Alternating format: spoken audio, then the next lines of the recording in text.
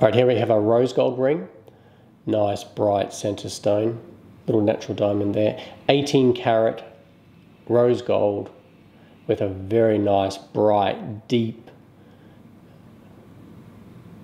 uh, crystal opal.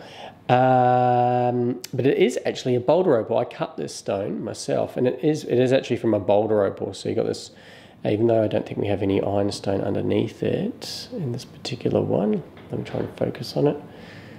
Yeah, there's a tiny bit of ironstone just uh, at the bottom there. So uh, it is actually a boulder opal. But a fantastic one, very pretty. Even in the low light, you're going to get this nice intense color.